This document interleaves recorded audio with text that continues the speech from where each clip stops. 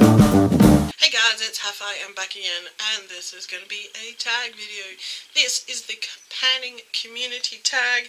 I believe this was started by Beauty by Angela. She will be linked down below. I will put the questions down below. There are 10 questions. Um, somebody, who was it? Was either Jessica Lee or um, Amanda D told me I should do this when I said, hey, maybe I should do this. And they were like, yes, you should do this. So, yeah, I finally got around to it. uh, and I saw this just the other day on um, uh, Triggy's channel, uh, Courtney. I will leave her link down below. I'll leave all of those people I just mentioned down below. Um, yeah, so, first question. How long have you been active in the panning community? Um, I think this is my, I think this would be my third year. Um, panning was something I got into fairly soon after I started filming on YouTube or like putting up YouTube videos and I think I'm in my into my fourth year on YouTube, something like that. Um, but yeah, it's it's been most of the time I've been on YouTube. I've been doing some kind of project. Um, what brought you to the panning community? I don't remember exactly, but I was watching somebody and they mentioned um,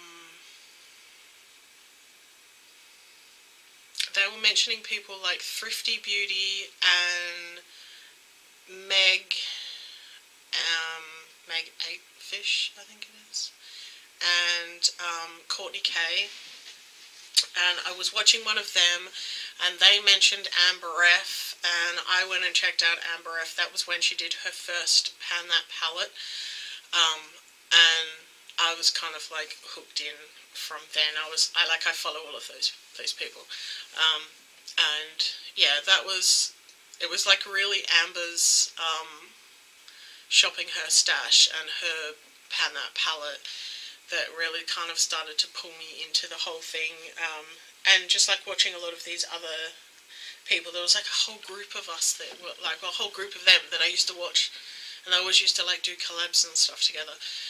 Um, and then, like as you start to get into that community, you start to have like people will mention somebody else that they've watched, so you go and watch that person and then you'll subscribe to that person and then like before you know it instead of like following two or three panners, you're following like a hundred of them.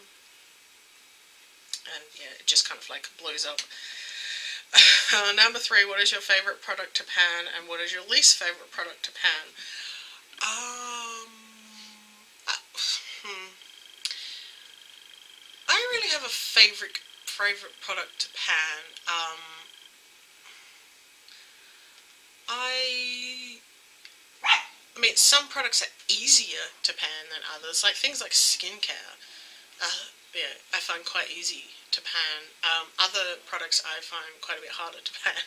Um, but like more successfully, I've actually almost finished panning two highlighters in the time that I've been panning, which might not sound like, it doesn't sound like much, but highlighters are really hard to pan because you don't use very much.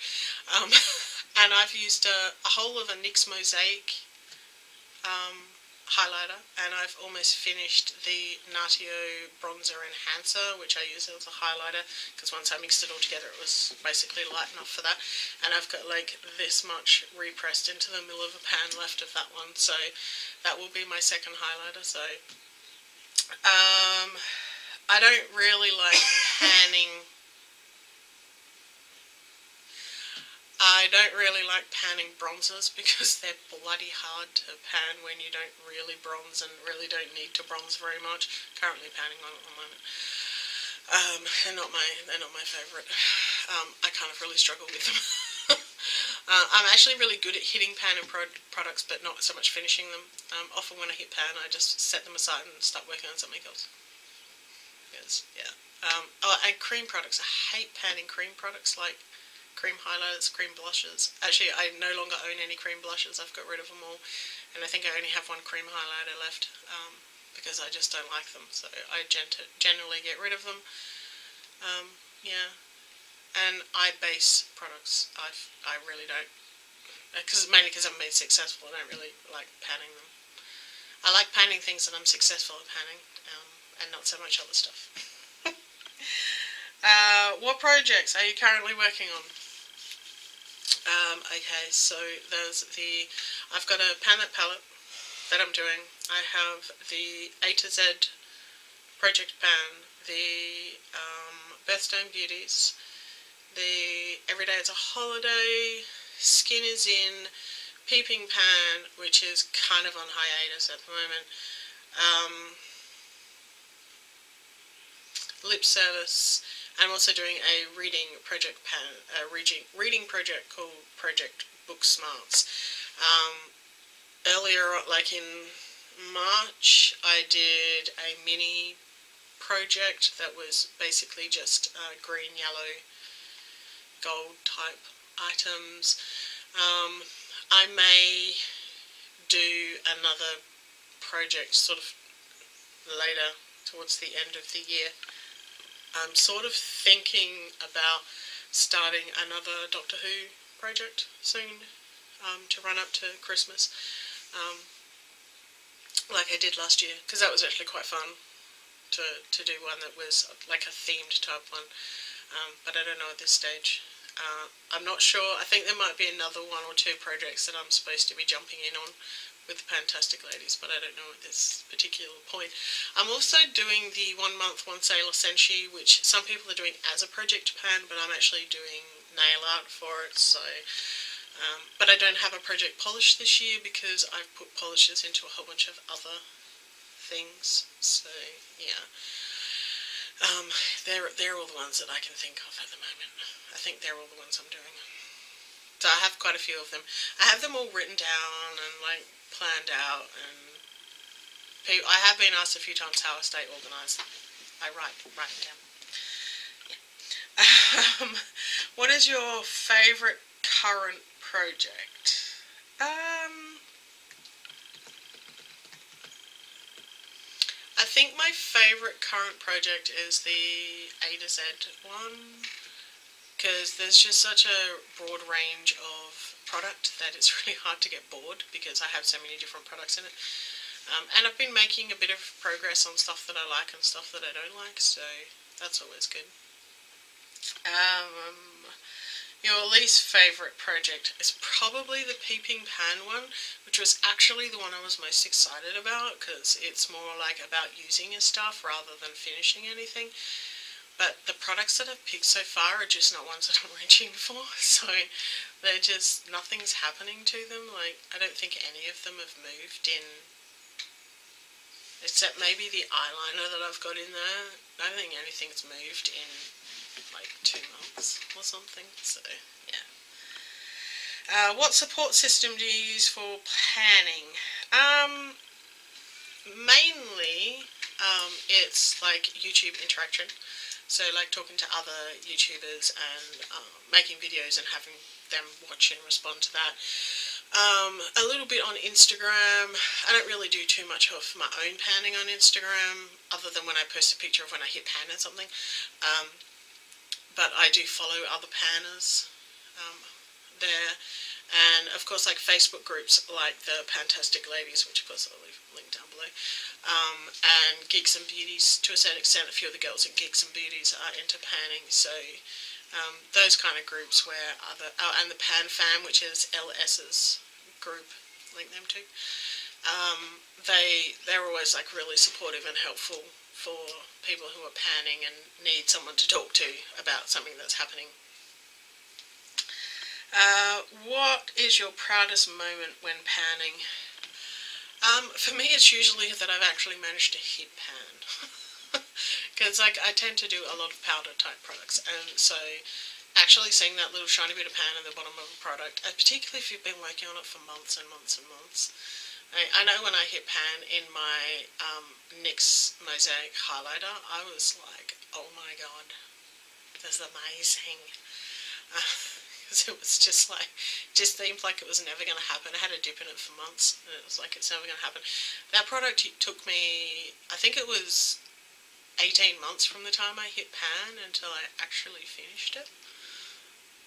that was a really long, like that. That was a really long achievement. So yeah, hitting pan, and then you know the few times I've actually finished really difficult products to finish. Uh, as long as I'm enjoying using them, it's always good. Um, what is your biggest panning goal for 2018? Um, to actually, even if I don't finish everything, to actually finish the projects. So I get to the end of the year and do a finale and look at what I've learned and what I could have done differently and um, yeah, use it as a learning experience for next year for the pro pro projects that I pick for next year to be as successful as possible. I mean, one of the things I've realised this year that for me, the most important thing about panning is to curate my collection. So sometimes it's not even about finishing products. It's about learning what you like and what you don't like and being prepared because I'm a bit of a hoarder. I don't like getting rid of things. I find it really hard sometimes, but being able to let things go and be able to say, you know what, you, you tried, but this product is not for you. This is this product is for someone else and just move on from it um, and not being afraid to make that decision. So yeah, that's that's my goal for this year. Really, is just to be prepared to let things go if they're not working. Uh, number ten and the final question is what is the best advice for new project panners? My my number one advice for new project panners is pick the majority of products that you are panning in your first project pick them as products that you use every single day anyway, or at least regularly. So your moisturizer, your serum, your sunscreen, your lip balm, cuticle oil, hand cream, those kind of products. Pick those kind of products first off. And then add in a couple of products that are extra step products. So they add an extra step, but they're, they kind of like help extend you a little bit, but it's not like, so the majority of your products are not difficult products. You want to pick mostly easy products to start off with so that you learn to feel successful and you learn to plan and, and plot things out. I don't recommend picking something like a full-size bronzer that you just bought for your first panning project because you're not going to be successful. You're probably going to end up hating your bronzer or you'll end up overusing it and then you might look a little silly or you just won't use it at all because it just seems so big.